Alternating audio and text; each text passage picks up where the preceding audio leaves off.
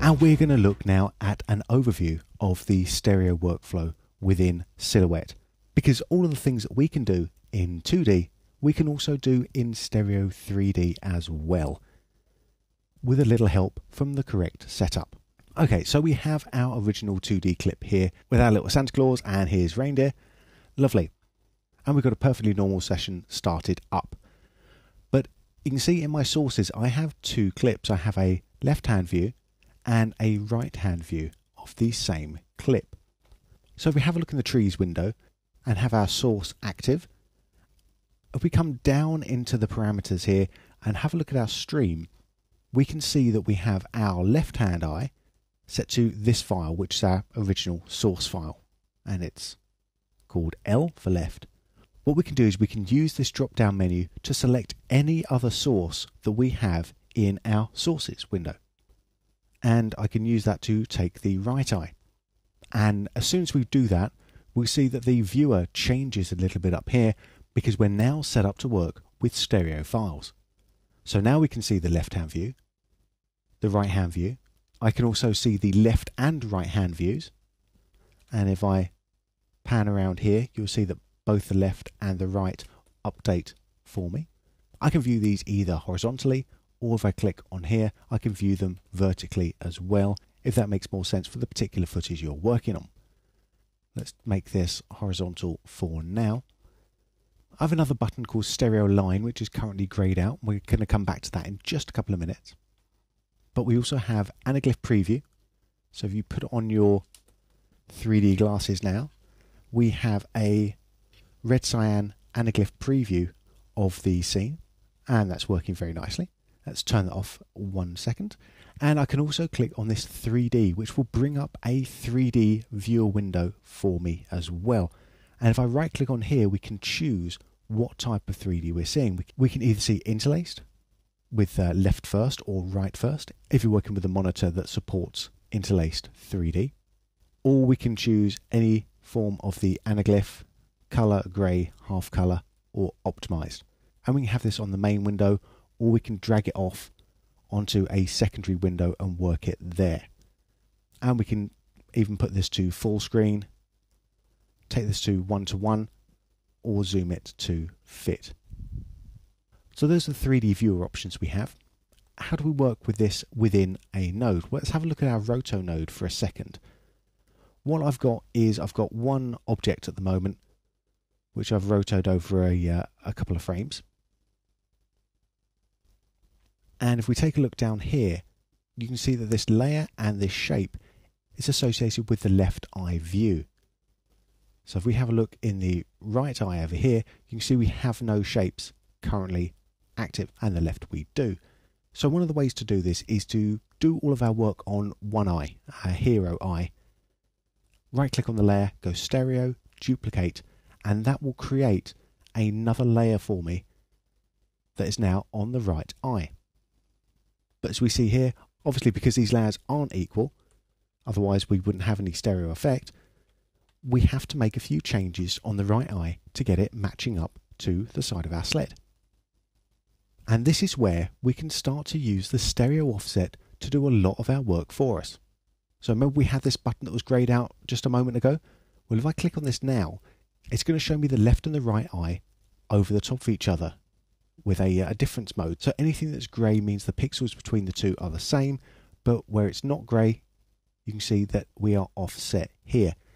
So what I can do is I can manually click and drag to try and line us up.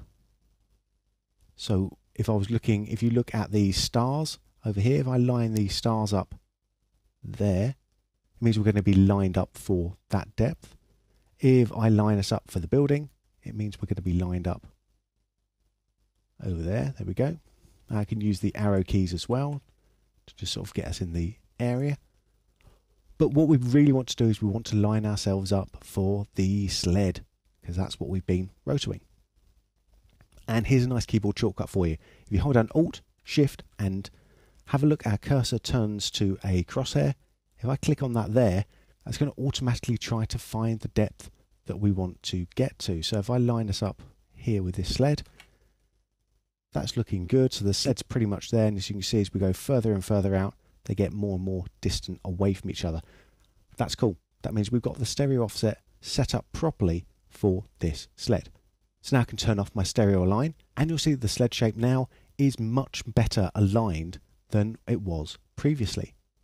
And all I need to do now is make any small changes because of the perspective change between the two eyes. I can just make the small changes here and get that lined up a lot better and a lot quicker. And the same goes over here. Let's just do a few small changes. Not going to do too much there. You get the idea. And now that right eye is also rotoed in properly. Now, if the object changes in depth, say the sled was to move further into the scene, if I come into the layer, you can see I've got a stereo offset parameter here, which is keyframeable. So we can keyframe the depth as well. That's also going to help us to reduce the amount of actual hard roto work that we have to do between the two eyes. Now, because of doing it this way, we've actually got these two objects linked together. So you can see when I select one of them, it actually highlights both here. So we can see these two objects are actually linked. And if we need to, we can manually link other objects together so long as they've got the same number of points by right clicking, going stereo and link. You see, because these are already linked, we've only got the unlink there, so we don't want to do that. What that lets us do though is if we're in left and right hand view here, and let's come over to a place where we haven't done any roto work, something yeah, around about there maybe.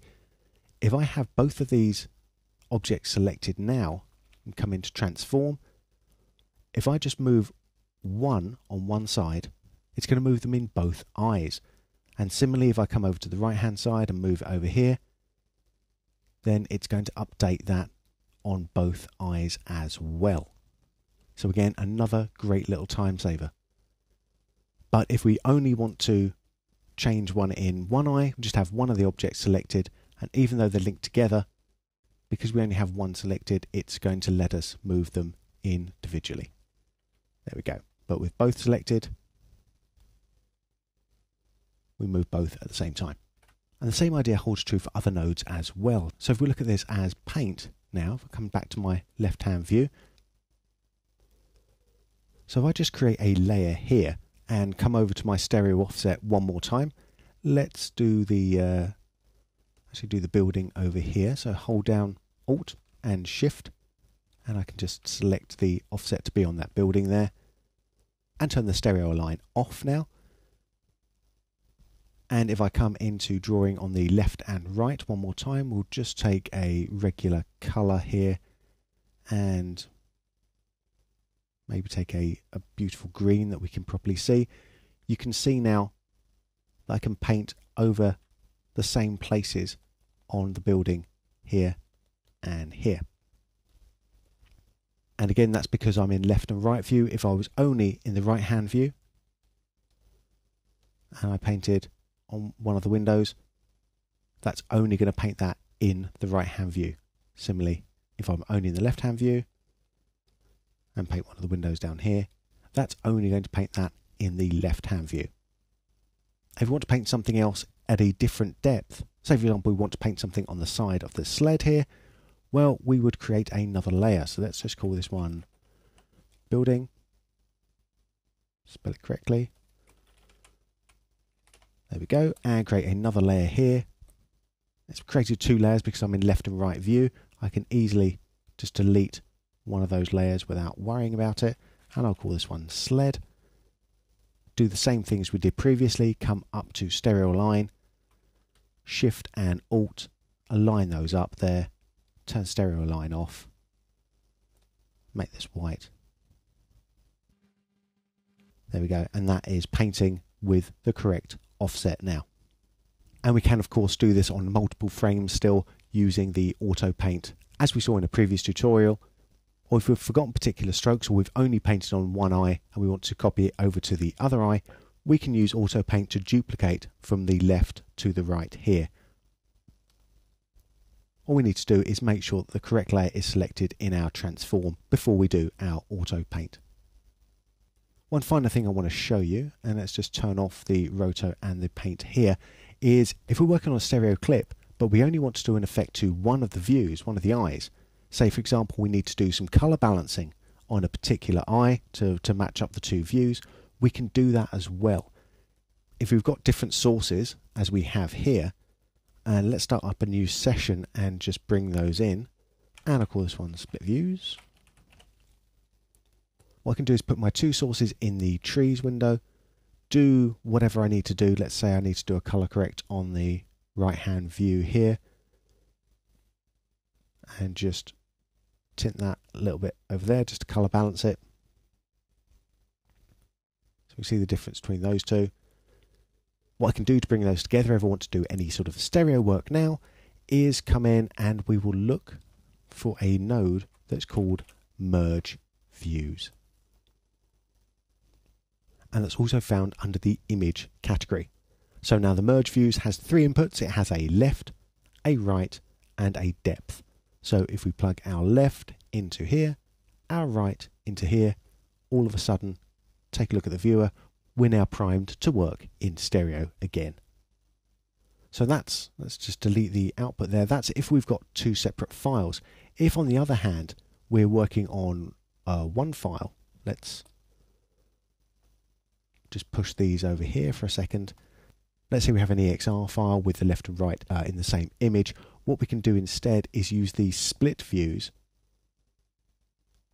to come in, and that has one input but has three outputs, has a left, a right, and a depth again. So now we can do the color correction again on the right eye using this using this method. Boom. And then bring those back together using the merge views. So plug in the left from the split views, the right from the color correct. And again, we have our stereo workspace set up for us. And that's a quick overview of working in stereo.